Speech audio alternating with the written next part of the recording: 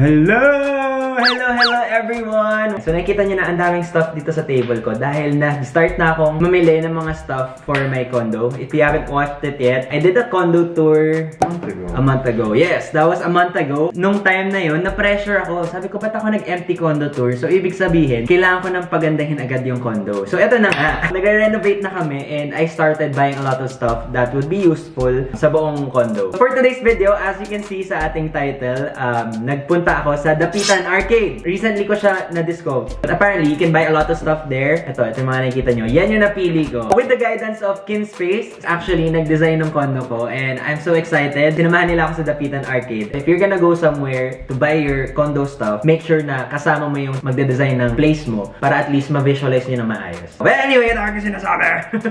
so, ito yung clip nung nagpunta ako sa Dapitan Arcade. Hello, hello, good morning! Andito tayo. Pang radyo ata yung ginawa ko. Benedict here, it's been a while. Nandito tayo sa Dapitan Arcade. Alam naman natin na malapit na ang Burr months. Ay hindi, Burr months na. Since marami tayong plano this Christmas, kasama na dyan yung mga pagde-decorate ng bahay, mga Christmas stuff. Ito daw Dapitan Arcade. Very famous siya for a lot of home decor, Christmas stuff, ganyan. Tapos lahat. Mura. So, titignan natin kung mura talaga at kung magaganda yung mga finds na nandito. And joining me today, contestant number one is Christian Somera! Contestant number two, Mika! O siya, hindi na natin papatagalin. Pumunta na tayo doon. Let's go! No, not forget our mask and face shield. Baliktad. Mask and face shield. Hindi ko alam kung rinig ako pag ganito. Pasok na tayo. Ay, ay!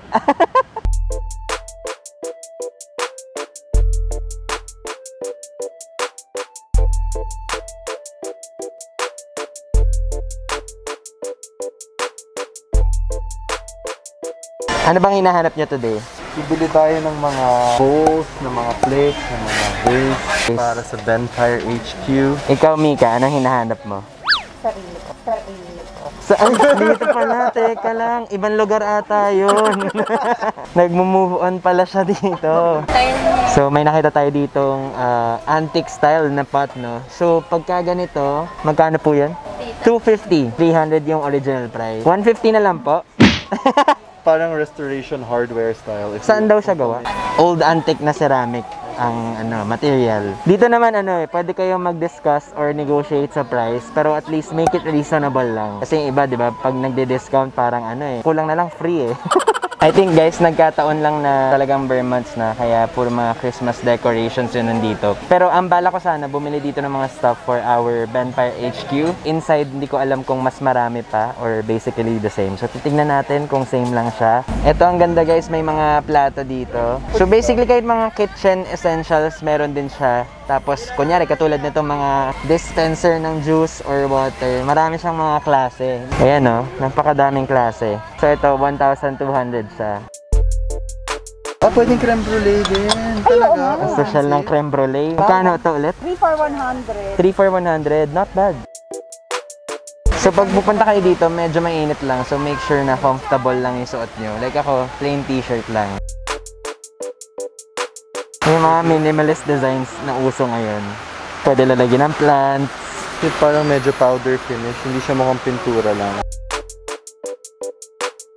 Ito, so 150 na lang, dalawa yung bibiling ko, 150 pesos. Medyo ina-allergy lang ako ng konti since marami silang stock, medyo dusty. So kailangan mag-mask kayo. Ako allergic ako sa dust, so medyo inuubo ko. Eh bawal pa namang umubo sa ganitong panahon, ano po?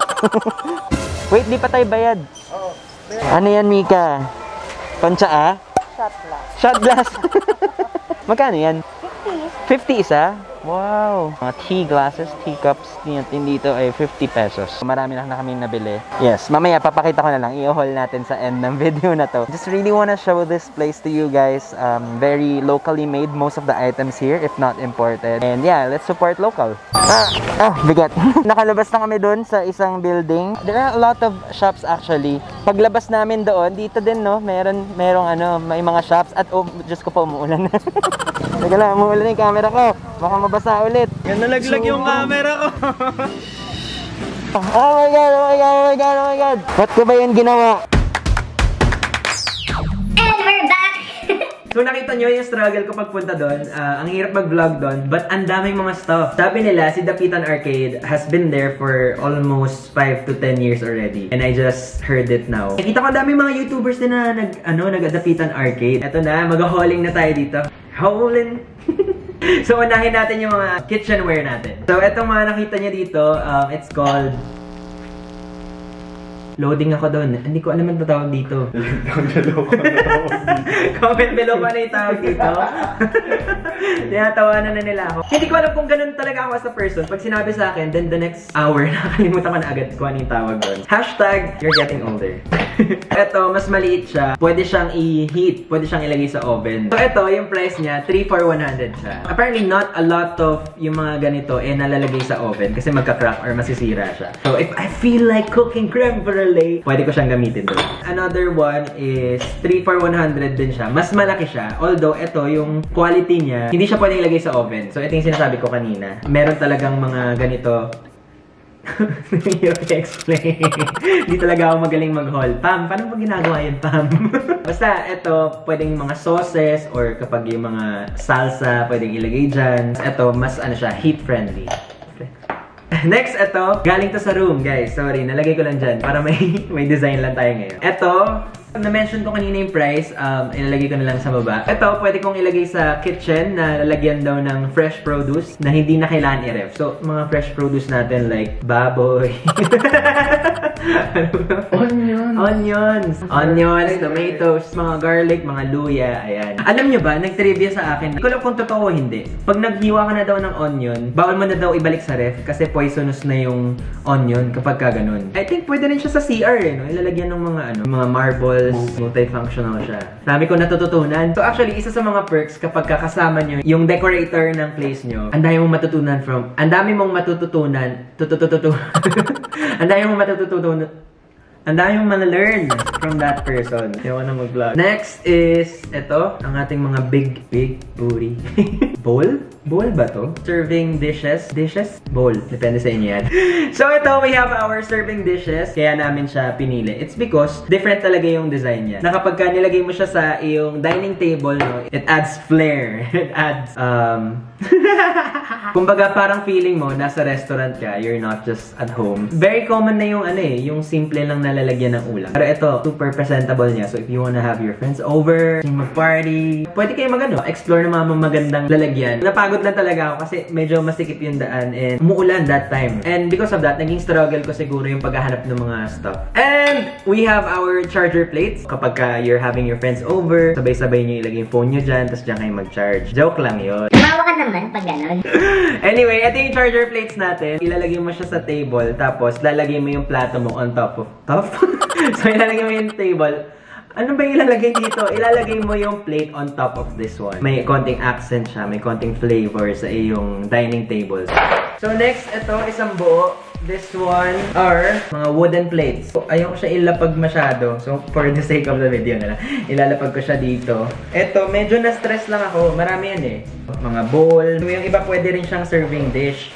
Ayan o, iba-ibang design siya. Ang laki yan. So, mga 20, 15 to 20, no? Medyo marami yung binili namin, tapos nilagay ko na siya sa kotse. Hindi ko na double check isa-isa yung plates. Kumuha lang ako ng kumuha. Tapos pag tingin ko kanina, may mga konting termites na siya. Hindi ko alam kung makikita niya dyan. So, may mga powdery-powdery na lumalabas dyan from holes. Medyo familiar naman ako ganun since construction kami and we have wood products also. Kahit isa or dalawa lang na may termites sa binili nyo na wood product, mahawa talaga yung lahat. I suggest if you're going somewhere, anywhere actually, tapos bibili kayo ng mga wood products na very, very delicate talaga also, Talaga awesome. You have to double check. Once na nagkaroon ng ana yung isa, lahat mahahawa. And hindi naman din natin mabiblame yung mga stores natin kasi minsan talaga, if the whole store is selling wood products, hindi natin may iwasan. Uh, environment, yung mga pa- nakapaligid dun sa store from their supplier, ganyan. So, double check na lang. Although na-enjoy ko naman siya, pero yung effort medyo nasayang because I wanna go there to save. In the end, madidispose ko to lahat. Sayang. so, ayun, double ingat na lang tayo. And if may mga stuff naman na you can easily just buy online, Like for example, sa Lazada, through Shopback, marami kayong masasave. Um, it saves you a lot of ano, effort. Ito, happy rin ako dito. Remember, when you're cooking something na super hot, so pag mainit yung rice cooker, ilalabas malagim sa dining table, pwede may patong dito. Yeah, this is 50 pesos. Sulit. And last but not the least, ito yung mga vases natin. Super na-impress ako. Hello, hello, hello. Oh my God, oh my God. Nahulog na. Parang may lumabas dito na gagamba, no? So, ito yung mga vessels natin. Hindi ko lang ba't vessels pa yung tinawag ni Kin Space dito. Vases lang naman to. Bakit ba vessels? Blood vessels? ito yung mga pasok sa theme ng condo namin. So, abangan nyo na lang kung ano yung magiging theme. Sabi ko last time, rustic industrial. Pero yun nga, since may edad na tayo, nag-iiba-iba yung decisions natin. But that's okay. Our decisions change from time to time. It's okay. Ano? Hilang lang. Kala ko anay. Kinabahan na naman ako. Ano naman kung anay kasi hindi man to kaway. Anyway, 300 pesos siya. Super nice. This one naman is 250. Ayan. Ito, um, 200 each. Para ako nagbebenta. Pamahin na lang po. That's basically it. Eat. Huwag niyo ko tawanan. Nagugutom na kasi ako. That's basically it. So, that's it for our haul. Um, pag pinapanood ko yung video kanina, medyo na-stress ako kasi basically, ang dami naman ako nabili. As a person, medyo tamad talaga ako. So, as much as possible, kapag hindi naman kailangan mag-effort pumunta sa isang lugar, iniiwasan ko na. Nagustuhan ko yung mga binili ko, but andun pa rin yung fact na there's still a pandemic. And if, as much as possible, possible, I wanna stay at home. Kung hindi man kailangan mag-effort na lumabas, I prefer na kapag may mga items kayo in your mind na you can just buy online, then just buy it online. So, for example, sa Lazada, meron namang available. Then, pwede kayong bumili na lang sa Lazada. Napagod ako kaka-explain. Ay, inform ko pala kay guys, I'm working with Shopback again. Yeah! Para mas maging madali yung buhay nating lahat, I've collaborated with them and meron kaming ginawa na online store for Shopback. So, sa 11.11, magla-launch yung ating online store where we will be including a lot of my favorite products. Andun na yun. Guys, hindi ko nagigets talaga yung mga taong di nag-shopback bago mag-Lazada. Technically, when you wanna buy on something on Lazada, i-open nyo muna yung shopback na app, i-redirect niya kayo dun sa Lazada or kung saan man kayo bumibili online. And then kapag bumili kayo dun, may mga cashback kayo na ma-receive pabalik. So walang mawawala sa inyo. Da-download nyo lang, open shopback, buy from Lazada, for example, and then may, may babalik sa inyo na certain amount. We spend our money and then we get part of our money in return. So yun yung ultimate hack ko para sa inyo. Kung wala pa kayong shopback account, meron akong link sa description box. You can sign up now. And yung mga users natin, ito na. Malapit na ang bare months. So you can get the chance to win Huawei phones. This is Huawei Nova 7i. So ito yung recently na ginamit ko in partnership with Huawei. So mamimigay tayo ng dalawa.